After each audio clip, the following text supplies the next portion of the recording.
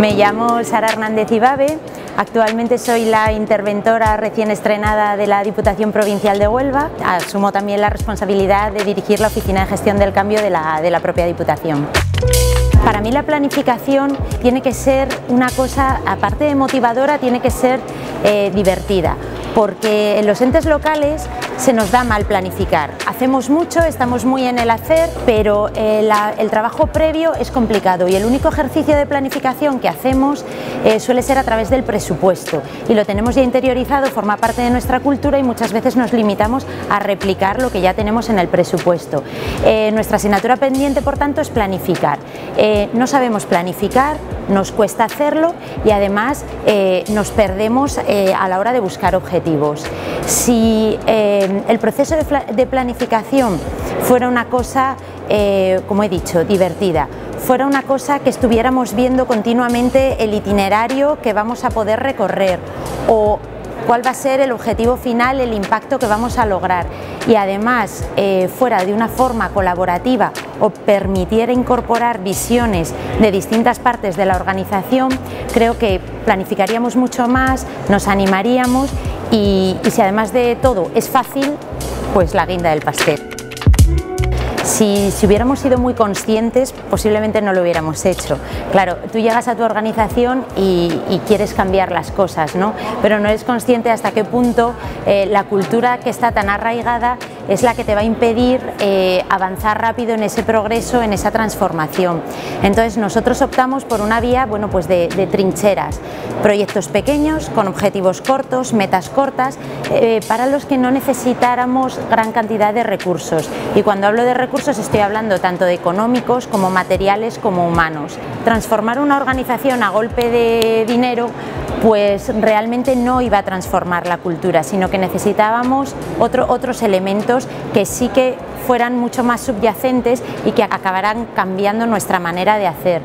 Eh, siempre proyectos que involucraran a más de dos o tres áreas para que empezáramos a trabajar por equipos, proyectos que buscaran eh, metas cortas que pudiéramos alcanzar y proyectos de los que nosotros pudiéramos ser parte de la solución. No queríamos cambiar el mundo, queríamos cambiar un poco nuestro mundo.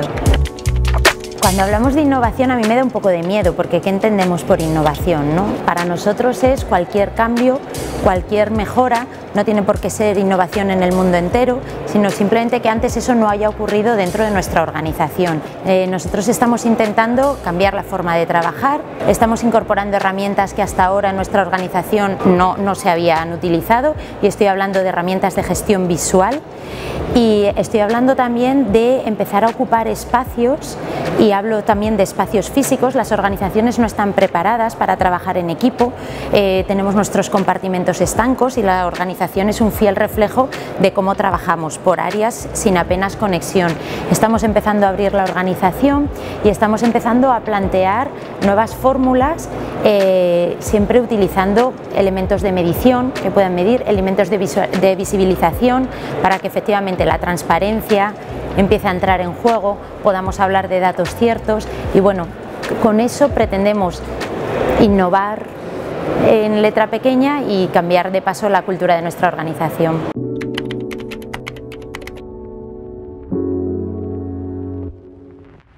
Mm, nosotros nos gusta hablar más de, más de estrategia que de plan estratégico. ¿Por qué? Porque las cosas van cambiando demasiado rápido.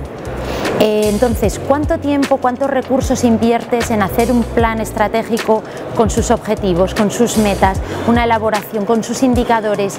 Le dedicas tanto tiempo que luego parece que se convierte en tu obsesión cumplir el plan con independencia de lo que esté ocurriendo fuera. Eso nosotros lo, hemos vivido y lo conocemos. Entonces, eh, estrategia sí, Em, herramientas que ayuden a hacer una estrategia fácil también, pero que el plan estratégico no se convierta en la obsesión y que, que al final solamente veas un plan y no veas lo que está ocurriendo.